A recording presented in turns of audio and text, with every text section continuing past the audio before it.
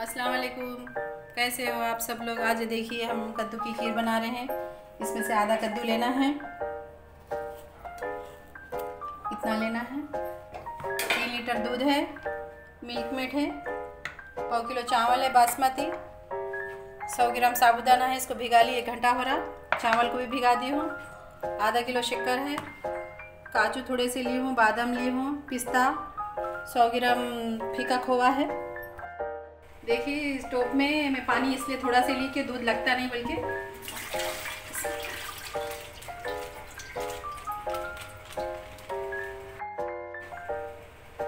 देखिए, तीन लीटर दूध में एक गिलास पानी डाल रही कद्दू को इस तरह का छिल लेना है। देखिए, इस तरह का लेना है कद्दू को।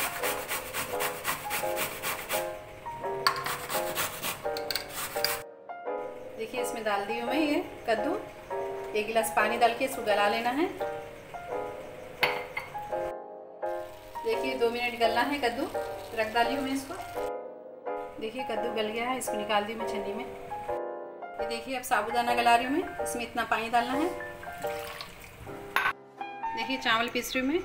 इसमें थोड़ा सा पानी डालना है, आधा कप।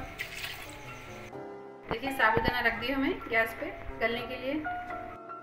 ये देखिए ड्राई फ्रूट्स को गर्म पानी में डाल के कट कर ली हूँ मैं। थोड़ा से इसमें पीसने में डालना है। देखिए, थोड़ा मोटा मोटा पीस लेना चाहिए। ये देखिए, एकदम बारीक नहीं पीसना है। देखिए, आधा किलो शक्कर है। इसको डाल देना है दूध में।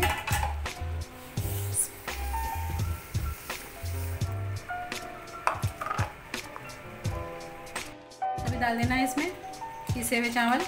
इसको स्लो स्लो डालते हुए मिलाना है। देखिए, इस तरह मिलाते ही रहना है इसको। चावल डालने के बाद लम्स पड़ जाते। देखिए, साबुदाना हो गया है। इसको भी डाल देना है इसमें। अच्छी तरह मिक्स करना है। देखिए, आधे घंटे तक इसको इस तरह ही मिलाते रहना है। देखिए, थोड़े से ड्राई फ्रूट्स डाल दी थी मैं पीसने में। देखिए, थोड़े से और डाल दे रही हूँ मैं इसमें। ड्राई फ्रूट्स देखिए ये ग्रीन कलर है फ़ूड कलर इसको डालना है थोड़ा सा। इसके साथ में इसको भी पकने देना है।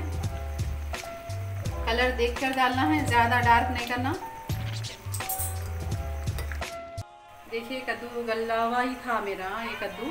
इसको अभी डालना है, ज़्यादा पकाना नहीं रहता, इसको 10 मिनट बस हो गया। क्योंकि कद्दू ज़्यादा गलना नहीं चाहिए। खीर पीने के टाइम पे टेस्ट आता अपने को। देखिए मिल्क मेड डाल रही मैं। इस तरह डालते हुए हाथ चलाते रहना है।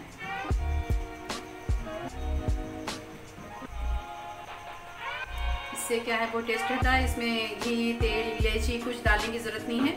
सब इसमें मिक्स रहता। वो टेस्ट बनती इससे खीर। मैं घी इस्तेमाल ही नहीं करी, इसमें डाली नहीं हूँ मैं घी।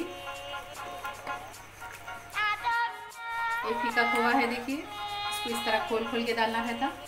इससे भी बहुत टेस्ट आता खीर में। मिल्क मेट और फीका खोआ डालने के बाद और एक पाँच मिनट रखना है इसको। देखिए खीर बन चुकी है, माशाल्लाह। बहुत टेस्ट बनी है, देखिए।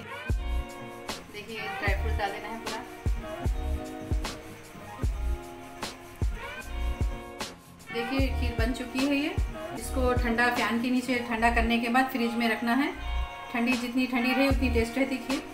और ये रेसिपी आप लोग भी ट्राई करिए लाइक करिए शेयर करिए सब्सक्राइब करिए। अल्लाह हाफिज़।